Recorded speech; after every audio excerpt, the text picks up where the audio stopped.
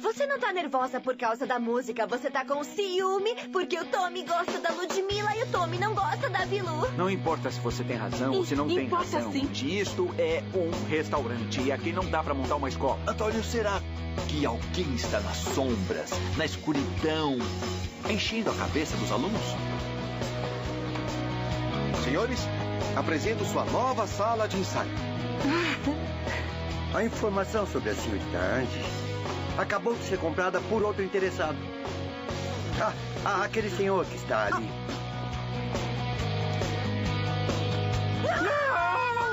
Olha, quer saber? Tanto faz. Porque eu não quero nada com a Violeta. Violeta? Olha, Tomás, eu vou te falar uma coisa e eu quero que você preste muita atenção. Fica longe da Ludmilla, senão você vai se ver comigo, tá? Ludmilla só tem um jeito de decidir quem é que ganha essa dupla. Ah, é? Qual?